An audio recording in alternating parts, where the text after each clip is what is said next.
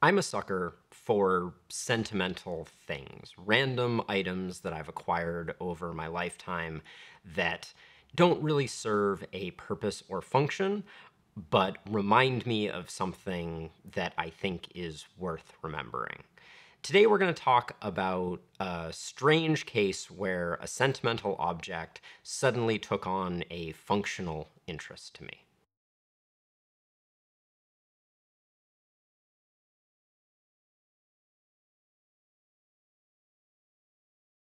Strangely enough, the object in question was actually in the background of my first few YouTube videos. I'll bring up a clip from one of them and ask you to ignore the fact that I look a bit like a homeless version of Leonardo DiCaprio from Django Unchained and focus a bit more on the backdrop where there's some small metallic knickknacks on one of the shelves. Those knickknacks are a prized possession that I have taken with me over the years as I've moved across the country.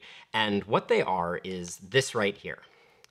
And what it is, is it is a set of micrometers that my grandfather owned and I keep them on the shelf because I, I think they look kind of cool.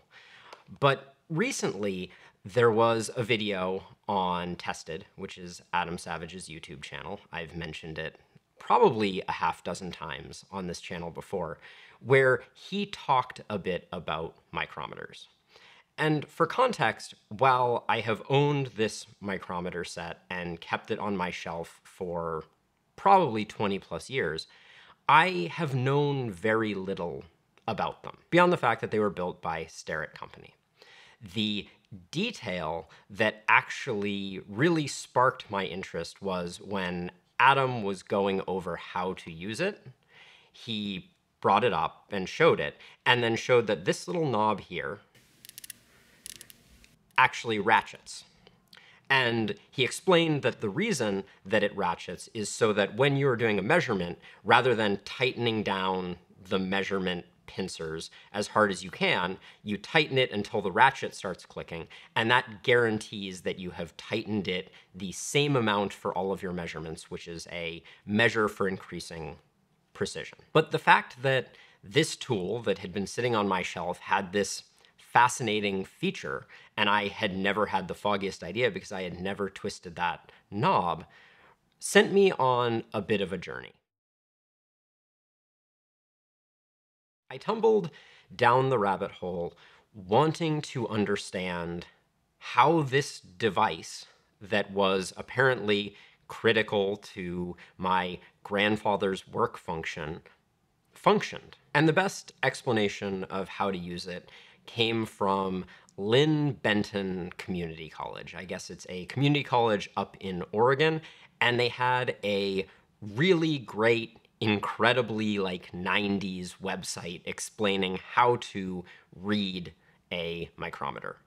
Because that was the first thing that I wanted to know how to do. I wanted to know how to take this tool and use it for its intended purpose, which is to measure things. But before we talk about measuring things, a bit of anatomy, and I may create some graphics to go with this too, but in the simplest case, you have the anvil, which is the on the receiving end here, the spindle, which is the moving part that kind of pinces whatever you are measuring, and then the frame that kind of holds those two at a precision distance. Those are like the semi-static elements. And the part that you read is the sleeve and thimble, where the thimble rotates around the sleeve, which is static. Oh, and we can't forget the crowd favorite, the ratchet knob. So armed with that understanding of anatomy, it was time to try to decipher the rather cryptic hieroglyphics that existed on the spindle of the micrometer. And thanks to Linn Benton Community College's tutorial, it wasn't nearly as hard as I thought it was going to be. Basically, you have gradations on the spindle and more fine grain gradations on the thimble. And the analogy that the tutorial that I found used that helped me a great deal actually was to think of the spindle, which is that inner, larger gradation segment as dollars and quarters, and then the thimble as pennies. So you're going to shrink the jaws down until they touch on both sides of the thing that you want to measure. And then at that point, you're going to read two numbers. The number that is the zero line on the spindle, that will be like a vertical hash, and it will be, say, like 1.25, a dollar 25, for instance. And then you will look at the thimble to see the pennies, which might be, say, four. And then you add 1.25 and four, you end up with a dollar 29, which ends up being 0.129 inches. To put it a different way, the dollars become your tenths of an inch, and then the cents become your hundreds and thousandths of an inch. So to run through a few examples, and hopefully I'll have a visual aid to go with these. If the sleeve reads $3.75 or 3.75, and the thimble reads 6, which is 6 cents, you know that you have $3.81, which is essentially 0.381 inches. For another example, if the sleeve says 2.5 and the thimble says 5, then you know that the measurement is 0.255. And then last but not least, if the sleeve reads 1 and the thimble reads 7, then you know that you have a measurement of 0.107.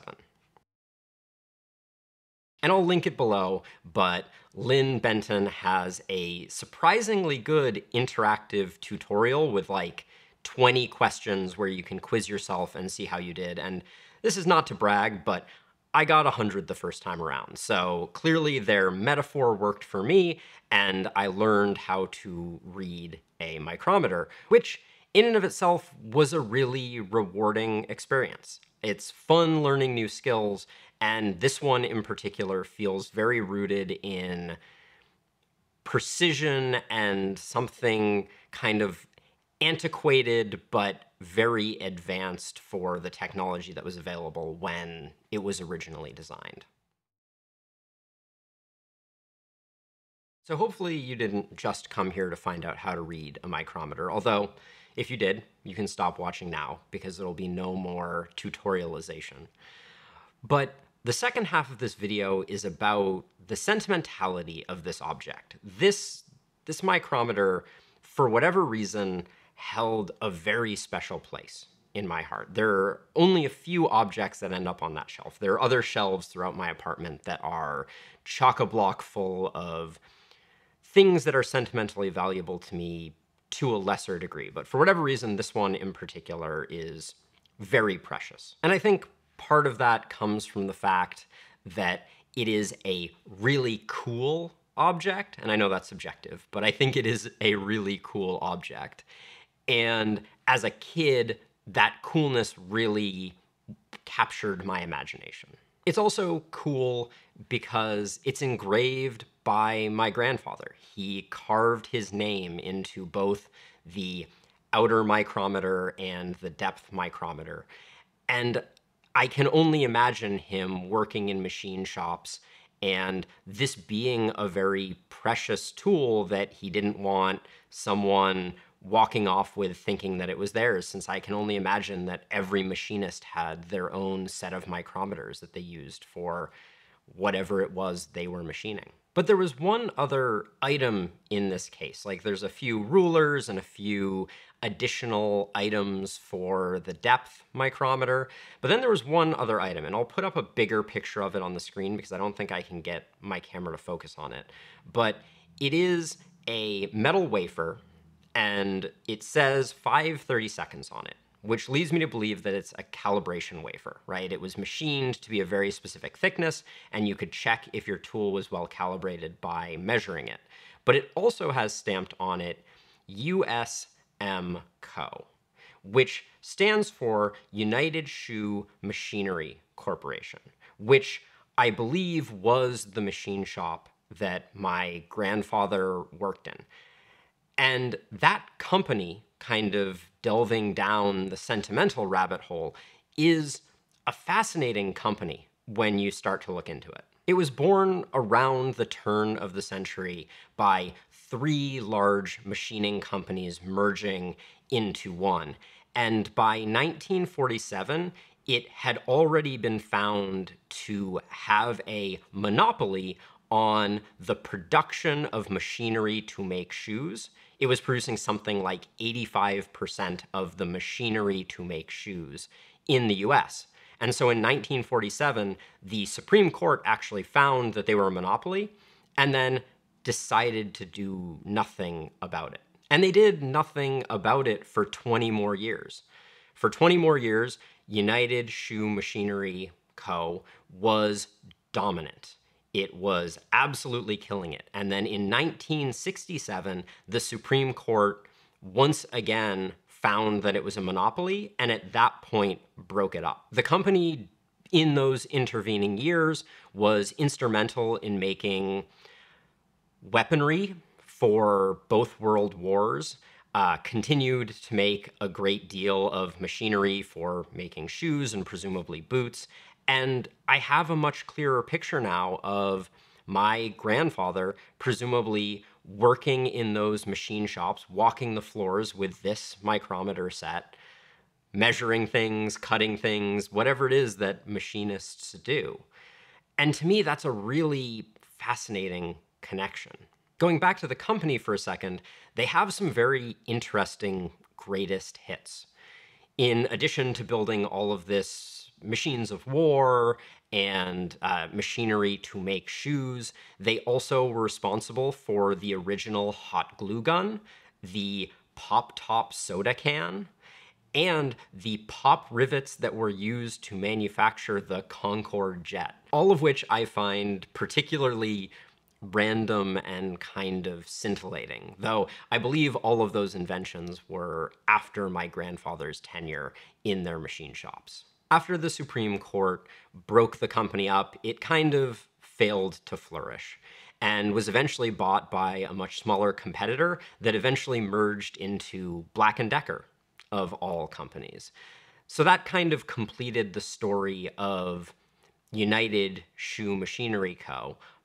But that company left behind a massive factory space called the Shoe Building in Beverly, Massachusetts. And it was a essentially abandoned factory space that I knew about when I was growing up. It was in the general vicinity. And strangely enough, my first job in high school, doing kind of like a internship type of thing, was in an office space in what is now called the Cummings Center, which was previously the shoe building. And so, in a strange twist of fate, this micrometer wandered the halls of a building that I would eventually work in 40 to 50 years before I was ever born. And that to me is kind of mind bending. It's incredible to think about.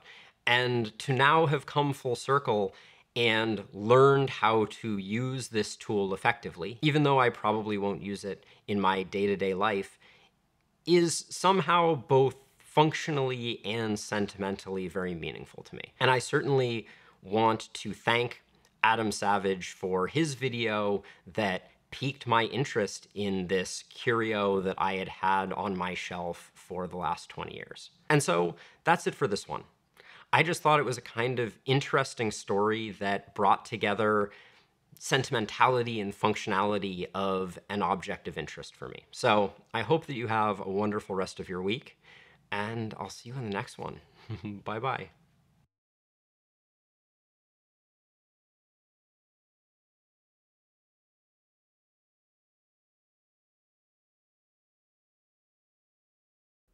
Not a potamus.